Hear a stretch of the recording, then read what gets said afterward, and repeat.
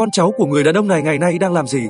Hitler chỉ có một người con tên là Jean-Marie Lauret mà ông ta đã phủ nhận và các nhà sử học khẳng định rằng Hitler là cha đẻ thực sự là điều khó có thể xảy ra. Vì vậy, mặc dù không có hậu duệ trực tiếp của Hitler, nhưng có ba anh em sống ở Long Island là những người thân gần gũi nhất cuối cùng còn sống của Hitler và là những người cháu tuyệt vời của ông ta. Cha của họ là cháu trai Hitler, William Patrick Hitler, người nhập cư vào Hoa Kỳ vào năm 1930 và coi thường chú của mình.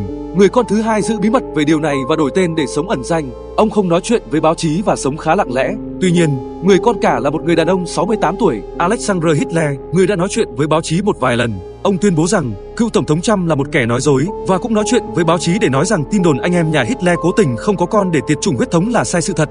Và người còn lại, người đã lên kế hoạch có con với người bạn gái do thái của mình, nhưng họ đã vỡ lở mọi chuyện sau khi biết được lý lịch của gia đình anh ta.